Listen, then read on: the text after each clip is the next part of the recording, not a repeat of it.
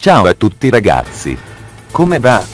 Dopo ben tre anni, dal 2018, torna una top, è come direbbe il protagonista della serie che oggi andremo a trattare. Bene, prima di iniziare, le dovute premesse. In questa classifica ci saranno solo Metal Gear considerati come canonici, quindi niente Snakes Revenge o anche Portable Ops, benché comunque abbia giocato e apprezzato questi due giochi, il motivo è che semplicemente Metal Gear è una saga dove ogni gioco punta anche sulla trama affinché possa anche collegarsi nei prossimi capitoli, quindi la essere non canonico o semicanonico, insomma, avete capito, non mi fa impazzire l'idea. Secondariamente, questa classifica è al 120% soggettiva, personale e si basa sulle mie opinioni e pareri, se non siete d'accordo, va bene, basta semplicemente non insultare.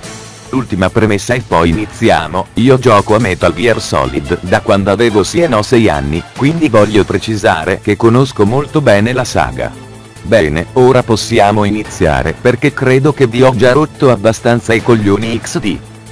All'ultimo posto, abbiamo il primissimo Metal Gear della storia dell'umanità. L'ultimo posto non significa essere brutto visto che per me non esiste nessun Metal Gear brutto, tranne un certo survival che dopo averlo pronunciato andrò a lavarmi la bocca con l'acido muriatico, ma semplicemente ci sono Metal Gear che mi sono piaciuti di più.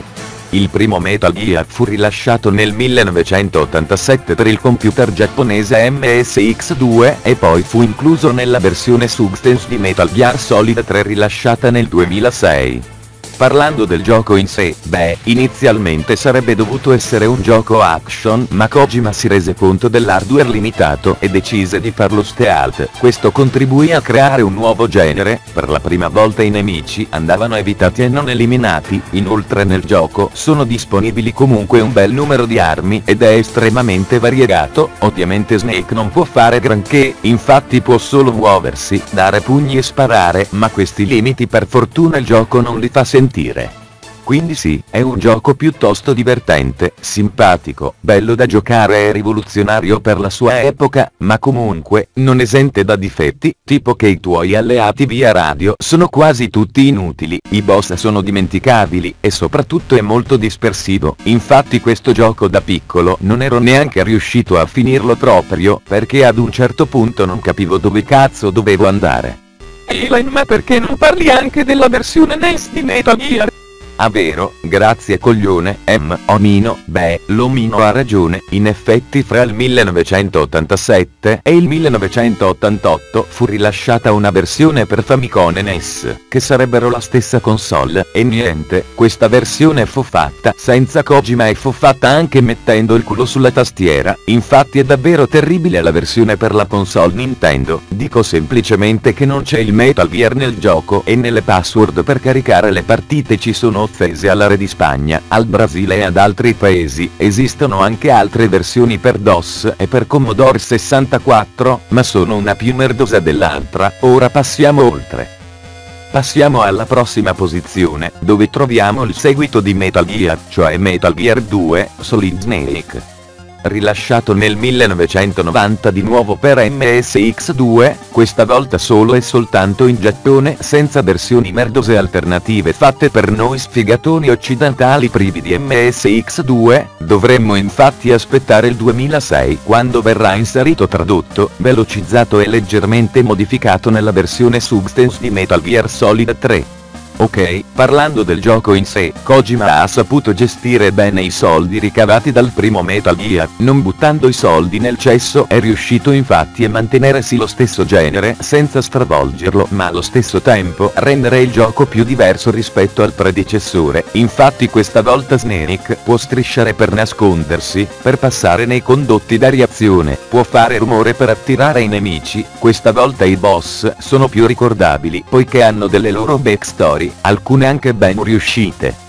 Poi le musiche sono davvero una più bella dell'altra, tant'è che nel 1991 fu rilasciato in Giappone il CD ufficiale con la soundtrack. Sono molto belli anche i nuovi tranelli e trappole, alcune vecchie e altre nuove, le armi sono più o meno le stesse del precedente gioco e i tuoi alleati già sono più utili e interessanti e ci sono anche dialoghi fra personaggi in cui non si parla per forza della missione, ma anche del passato dei personaggi, invece nel vecchio Metal Gear ogni dialogo era Bailey e fa quello, sta attento perché là ci sono merde volanti dotate di esplosivi eccetera. Riguardo i difetti, beh, ammetto che la trama seppur interessante e originale, ammetto che è un po' troppo surreale, il gameplay invece, i problemi più che altro, sono i boss troppo sbilanciati, c'è il primo boss che è difficilissimo e gli altri che sono una minchiata, e poi il gioco punta un po' troppo sul backtracking, ho capito che siamo nel 1990, ma comunque sono troppe le volte che dobbiamo tornare indietro al fottuto edificio 1.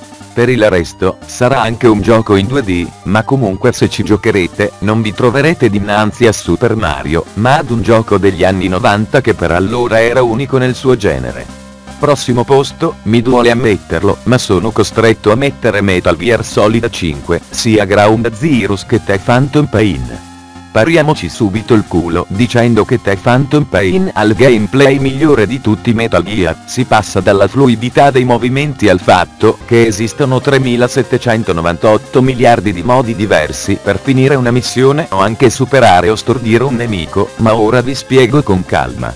rilasciato il 1 settembre 2015 su PS3, PS4, Xbox 360, Xbox One e computer, Metal Gear Solid 5. Io l'avevo aspettato da anni, seguivo ogni singolo trailer e poi il gioco è uscito e preso al day one. I momenti emozionanti ci sono, la trama e i colpi di scena sono belli, ma sincero, questo gioco non mi ha emozionato come i precedenti capitoli, non ci sono stati momenti che mi hanno fatto emozionare chissà quanto, l'unica parte che davvero mi ha quasi fatto piangere è il capitolo sul contagio nella Mother Base, ma preferisco non spoilerare. Poi vabbè, il gioco ha più tagli di Crash to Insanity, e non parlo solo di gameplay, ma parlo anche di trama, e se in una saga come Metal Gear che punta tantissimo sulla trama mi tagli dei pezzi, hai praticamente già mezzo ucciso il gioco, è come eliminare un numero elevato di auto da Gran Turismo o come togliere i calci in Tekken.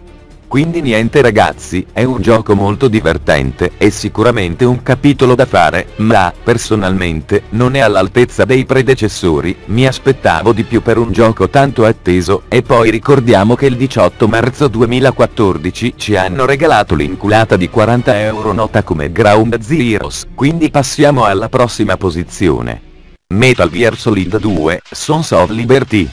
rilasciato nel 2001 solo su PlayStation 2 e fra il 2002 e il 2012 è stato rilasciato per PS3, PS Vita, Xbox 360 e computer. Allora, Metal Gear Solid 2 da bambino, un po' come tutti, lo odiai perché come tutti sappiamo, per la maggior parte del gioco useremo Raiden e non Snake, questa cosa fece girare i coglioni a tutti all'epoca, poi crescendo ho riscoperto il 2 e mi ero reso conto della meravigliosità di questo gioco, il gameplay nettamente migliorato rispetto al predecessore, questa volta per la prima volta possiamo mirare in prima persona con tanto di armi tranquillanti, possiamo far alzare le mani ai nemici e nascondere i corpi negli armadietti. Riguardo la trama e i temi trattati, è tutto molto interessante e significativo però il gioco, benché è riuscito ad emozionarmi soprattutto nel finale, come emozioni e suspense ho preferito di più il predecessore, è una questione personale ovviamente, ma non so, Metal Gear Solid mi ha dato molte più emozioni, i boss del 2 sono belli e memorabili, ma siamo lontani dalla Fox Sound. Una lode particolare a questo gioco è la sua rigiocabilità, infatti introducendo le targhette ottenibili facendo alzare le mani alle guardie, il gioco ha aumentato di gran lunga la rigiocabilità, molto rara per uno stealth, e una volta ottenuto un numero determinato di targhette avremo accesso a dei premi, e per prendere sempre più targhette dovremo man mano alzare il livello di difficoltà fino ad europeo estremo, aumentando di lunga il livello di sfida proposto dal gioco, inoltre Metal Gear Solid Solid 2 ha probabilmente la modalità europeo estremo più difficile da completare, inoltre nell'edizione Substance o HD Edition sono presenti le BR Missions, difficilissime ma che invogliano il giocatore a completarle tutte, impresa riuscita dal sottoscritto con tanto di trofeo su Play 3. Ora direi di avanzare, abbiamo Peace Walker rilasciato nel 2010 per PSP, nel 2011 approda anche su PS3 e Xbox 360, mentre stranamente non è mai uscita una versione per PS Vita. Su quella console infatti si può scaricare solo la versione per PSP, ma a parte questo, Peace Walker come gameplay ovviamente risente delle limitatezze della PSP anche se almeno non risulta ingiocabile come purtroppo molti giochi per PSP lo erano per colpa di quel fottuto secondo analogico assente. Tuttavia se il gameplay ne risente, tipo i nemici che spariscono una volta uccisi e non spostabili, Kojima ha ben pensato di creare un qualcosa di assolutamente inedito, ossia la Mother Base, potremmo infatti raccogliere i nemici sul campo di battaglia per aumentare il nostro business militare, e mettendo i soldati nelle giuste classi, potremo aumentare le piattaforme per altro personale, potremo aumentare l'efficienza medica e alimentare per i nostri uomini e sviluppare armi sempre sempre più potenti e utili. Io sto gioco all'epoca, l'ho giocato tantissimo e ricerca e sviluppo, arrivai a livello 93, ho gettato nel cesso giorni della mia vita, ma almeno ebbi la pistola tranquillante che anestetizza al primo colpo anche se spari nel piede XD. La trama ovviamente, davvero ricca di significati e temi trattati ancora una volta magnifici è la scelta di utilizzare i disegni a fumetto per compensare i limiti della PSP, ha reso il gioco ancora migliore, che dire, questo gioco è davvero divertentissimo e mi dispiace venga snobbato, ma comunque bisogna tener conto che è stato sviluppato su una console portatile, di conseguenza limitata, considerando che il capitolo in ordine d'uscita che precede Peace Walker è Metal Gear Solid 4. 4, che pesava 50 GB ed era su PS3. Ok signori, medaglia di bronzo a Metal Gear Solid. Rilasciato nel 1998 solo per la prima PlayStation, fu rilasciata una versione per PC nel 2000 e poi inserito nel PlayStation Store di PS3.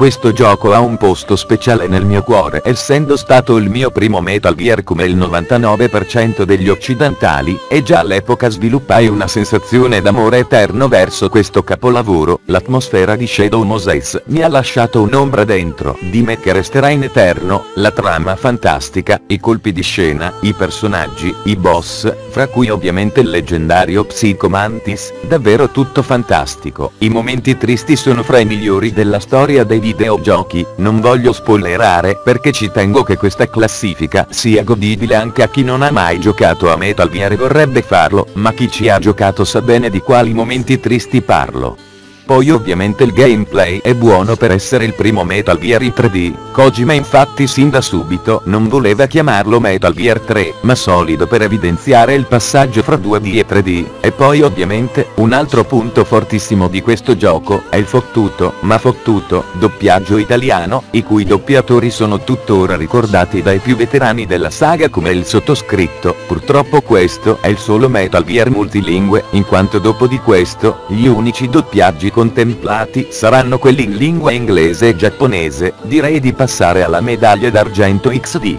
Metal Gear Solid 3 Snake Eater